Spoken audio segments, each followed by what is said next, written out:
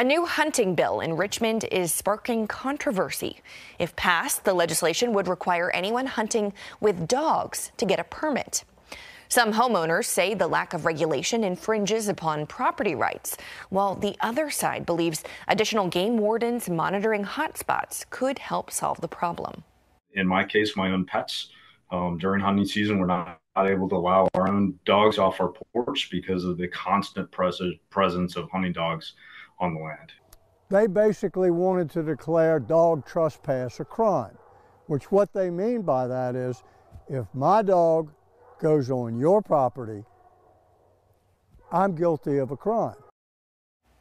This all comes after the Department of Wildlife Resources confirmed two incidents where hunting dogs were shot by property owners.